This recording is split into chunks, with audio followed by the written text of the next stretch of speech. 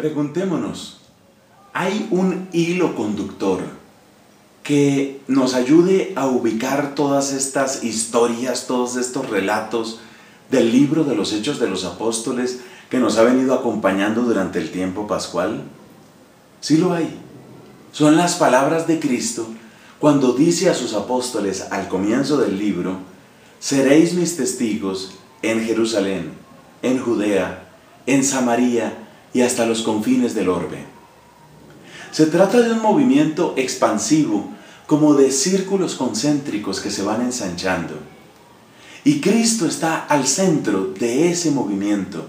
El resucitado conquista los corazones de sus apóstoles, los llena, los colma del Espíritu Santo de Dios y ellos se convierten en voces de Jesús, en testigos de Jesús, que van ampliando, que van llevando esta noticia hasta los confines del orbe.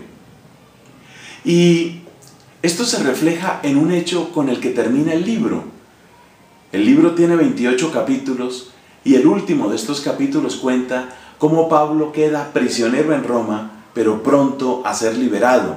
Según la tradición, después de un tiempo en el que probablemente fue hasta España, Pablo fue capturado nuevamente y finalmente degollado, decapitado en la ciudad de Roma. Pero la pregunta es esta, ¿por qué termina ahí el libro?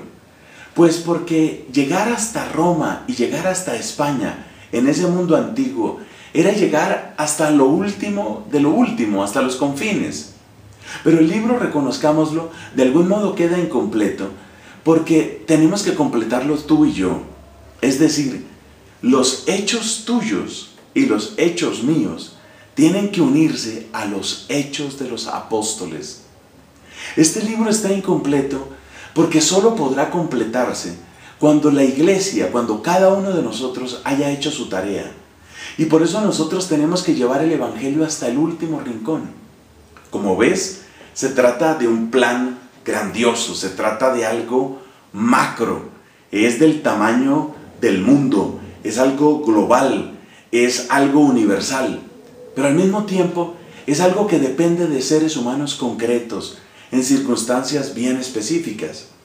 Así, por ejemplo, en la primera lectura de hoy, tomada del capítulo 16 de los Hechos de los Apóstoles, encontramos que hay una mujer llamada Lidia, la cual abre su corazón a la fe. Ella recibe la palabra de Dios, ella cree en la palabra del Señor. Y cuando ella acepta esa palabra, y cuando ella se convence de esa palabra, entonces también abre su casa y obliga cariñosamente, afectuosamente, obliga a Pablo y a sus compañeros a que se hospeden. Y entonces la familia de Lidia se convierte. En primer lugar se convierte a Jesucristo, pero en segundo lugar se convierte en un centro misionero. La casa de Lidia es como el primer hogar para Jesús en Europa. Lidia vivía en la ciudad de Filipos, región de Macedonia, al oriente de Europa. Y allá llega el Evangelio de Cristo. Y a través de la generosidad, la alegría y el espíritu hospitalario de Lidia, qué cosas maravillosas suceden. Y así el Evangelio empieza a correr su historia, a correr su aventura en tierras europeas. Ahora te pregunto yo, ¿cuáles son tus hechos? Este libro se llama Hechos de los Apóstoles. ¿Cuáles son tus hechos? ¿De qué manera eres tú también casa para Jesús? ¿De qué manera es tu corazón casa para el Evangelio?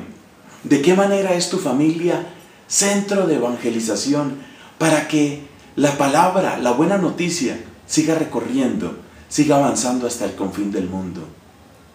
Estuvo contigo Fray Nelson Medina, de la Orden de Predicadores.